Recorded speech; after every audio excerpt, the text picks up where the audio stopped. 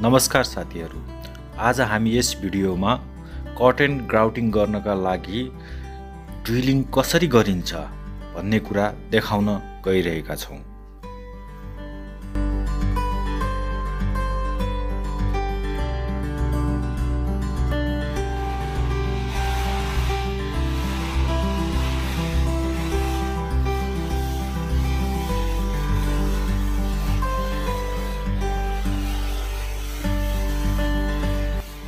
अब हामी ड्रिलिङ गर्ने ठाउँमा आइपुगेका छौँ।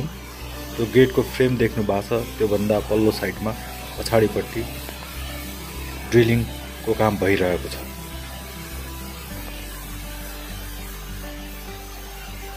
यो हाम्रो ड्रिलिङ मसिन हो। अहिले यस मसिनले भर्टिकल ड्रिलिङ गरेर आएको छ।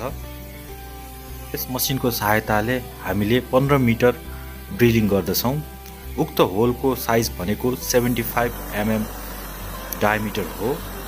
अहिले यो अन्दाजी पाँच सात मिटर ड्रिलिङ भइसकेको छ। कन्टिन्युसली यसले काम गर्छ यो अटोमेटिक मसिन हो। यसले चाहिँ प्रत्येक यसको स्टिम भनेको एक मिटरको हुन्छ। प्रत्येक एक मिटर चाहिँ ड्रिल गरिसकेपछि हामीले यस मसिनमा त्यो स्टिमलाई यसरी जोड्छौँ। माथि भिडियोमा तपाईँले स्टिम जोडिरहेको देख्न सक्नुहुन्छ। त्यसलाई स्ट्रिम लड पनि भनिन्छ। उक्त मसिनले पन्ध्र मिटर ड्रिलिङ गरिसकेपछि हामीले पोजिसन चेन्ज गरेर नयाँ होलमा ड्रिलिङ स्टार्ट गर्दछौँ।